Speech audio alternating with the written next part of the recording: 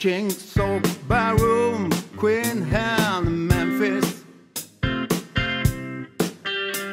She tried to take me upstairs for a ride.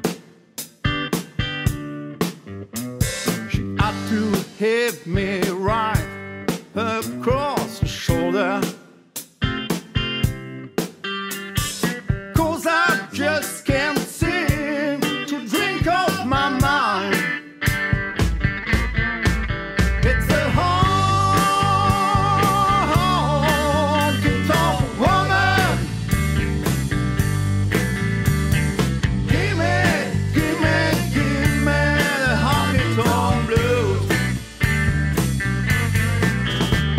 I later divorcee in New York City. I had to